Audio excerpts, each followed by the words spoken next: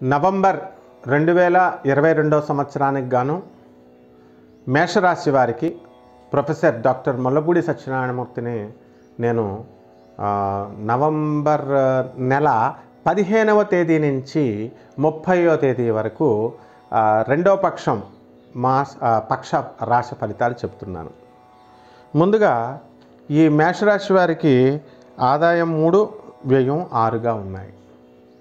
అంటే మనకు వచ్చేటటువంటి ఖర్చు చాలా ఎక్కువగా కనబడుతుంది.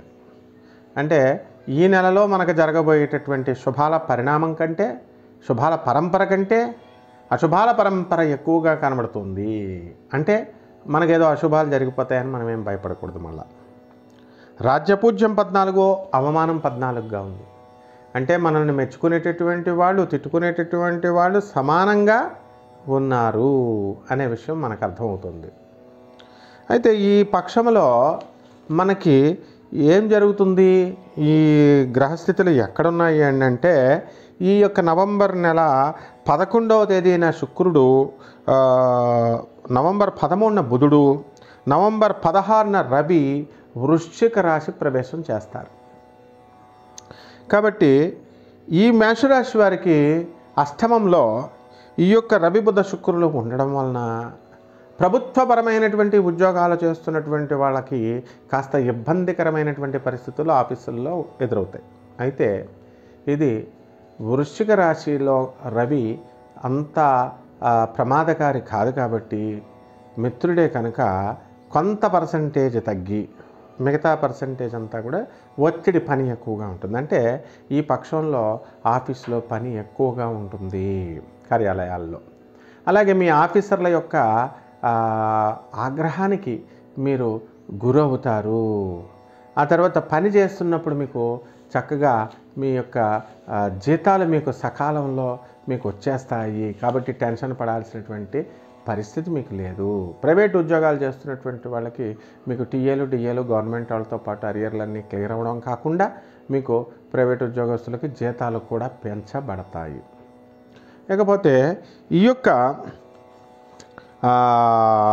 రాహు జన్మరాశిలో ఉండడం వలన కొంచెం ఆరోగ్య భంగాలు కలగడము తర్వాత ఇతరులను అనుమానించేటటువంటి స్వభావము కలగడము ఇవి మనకి ఎక్కువగా ఈ నెల ఈ పక్షంలో మనకి జరుగుతాయి. అదేవిధంగా గురుడు మరి నవంబర్ ఇరవై నాలుగున సవ్యదశలోకి రావడం వల్ల డైరెక్ట్ అవడం వల్ల గురుడు మీకు చక్కగా ఈ తీర్థయాత్రలు ఇవన్నీ కూడా మీరు వెళ్ళడానికి ఎక్కువ అవకాశాలు ఆస్కారాలు ఉన్నాయి. ధర్మకార్యాల కోసం డబ్బు మీరు ఎక్కువగా ఈ నెలలో ఖర్చు పెడతారు. ఇకపోతే ఏమండి మరి విద్యార్థుల పరిస్థితికి ఎలా ఉందండి అంటే ఈ పక్షంలో ఈ విద్యార్థులు కొంచెం డల్ అవుతారని చెప్పాలి చదువులో. అంటే ఆఖరి వారంలో నవంబర్ ఇరవై నాలుగు తర్వాత కాస్త చదువు కొంచెం ముందుకెళుతుంది. అంతకుముందు పక్షం కొంచెం యావరేజ్గా ఉంటారు.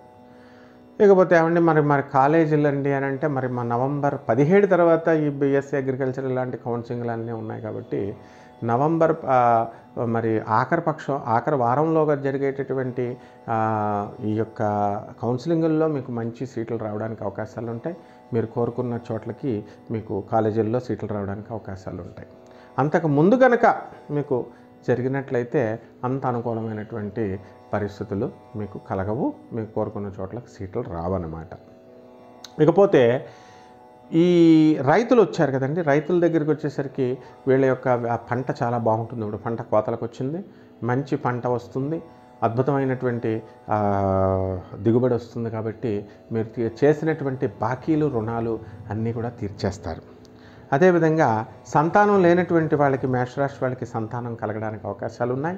అలా అలాగే ఈ యొక్క వివాహాలు కానటువంటి వాళ్ళకి మరి మూడముంది కాబట్టి వివాహాలు కాజాలవు అవ్వనమాట అలాగే నవంబర్ పదమూడు నుంచి మరి ఈ కుజుడు వృషభ రాశిలోకి మరి ఈ మేషరాశి నుంచి రెండో ఇంట్లో ఉండడం వలన ధనం కూడా మీకు యావరేజ్గా అనేటటువంటిది ఉంటుంది. అంటే చేసేటటువంటి వృత్తి వ్యాపారాలలో మీకు రాణింపు ఉంటుంది కానీ మీ యొక్క సంతృప్తికరంగా ఉండదన్నమాట మీకు ఆదాయం.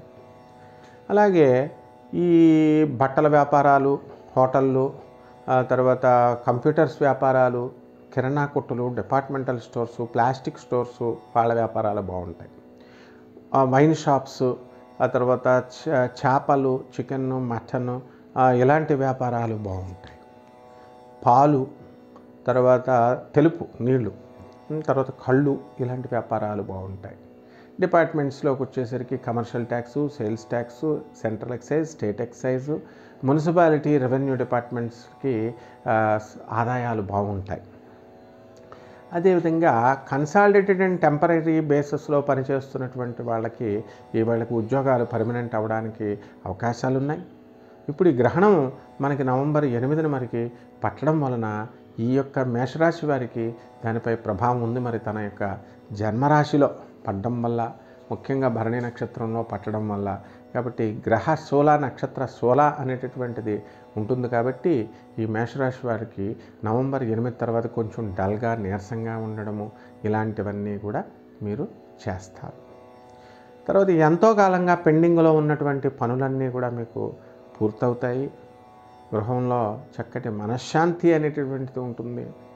కాకపోతే సప్తమంలో మీకు కేతు ఉండడం వలన మరి భార్యతో జీవిత భాగస్వామ్యంతో తర్వాత ఈ వ్యాపార భాగస్వాములతో మీకు కొంచెం మనస్పర్ధలు రావడానికి అవకాశాలు ఉన్నాయి కాబట్టి మీరు వాదోపవాదాలు పెట్టుకోకుండా మీరు చక్కగా మంచిగా మీ యొక్క రుజుమార్గంలో నిజాయితీతో మీరు వెళ్ళినప్పుడు మీకు ఏ విధమైనటువంటి కష్టాలు రావన్నమాట.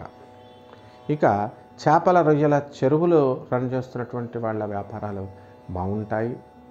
అదేవిధంగా మనకి గృహాలు కొనుక్కోలేదండి కొత్త గృహాలు అనేటటువంటి వాళ్ళు ఇప్పుడు మొడవ నడుస్తుంది కాబట్టి కొనలేరు. బంగారం కొనుక్కోవాలనుకునేటటువంటి వాళ్ళు బంగారము వెండి కొంటారు. ఇక అద్దెకున్నటువంటి వాళ్ళు మరి మేము దీనికంటే పెద్ద ఇళ్ళలోకి వెళ్ళాలండి అని కొనేటటువంటి వాళ్ళు ఇంకా వెళ్ళలేరు. కొంత టైం సమయం పడుతుంది. రెమెడీస్ దగ్గరికి వచ్చేసరికి రాహువు మరి మీకు బాగుండలేదు కాబట్టి రాహు స్తోత్రాలు రాహు జపాలు చేయించండి. రాహుకి కనకదుర్గమ్మ తల్లి పాదాలకి కుంకుమార్చన చేయించండి. ఈ విధంగా రాహు జపం కోసం మమ్మల్ని సంప్రదించండి. మరి ఇది కేవలం గోచార రీత్యా చెప్పబడేటటువంటిది కాబట్టి మీ జన్మచక్రాన్ని మీరు మనం పరిశీలించుకోవాల్సినటువంటి అవసరం ఎంతైనా ఉంది. అదేవిధంగా ఈ కుచుడికి కుచుడి మంత్రాలతో జపం చేసుకోండి అంగారక స్తోత్రాలు చదువుకోండి సుబ్రహ్మణ్యేశ్వర స్వామి అభిషేకాలు ఇవన్నీ కూడా చేసుకుంటే మీకు కిలోంపావు కందులు కిలోంపావు మినుములు పురోహితుడికి దానం చేయండి. గోధుమ రంగు వస్త్రంలో కట్టి మరి ఎర్ర రంగు వస్త్రం కుజుటిలో కట్టి ఈ యొక్క కందుల్ని దానం చేసినట్లయితే మీకు బాగుంటుంది ఈ నెల. ఈ పక్షం శుభమస్తు.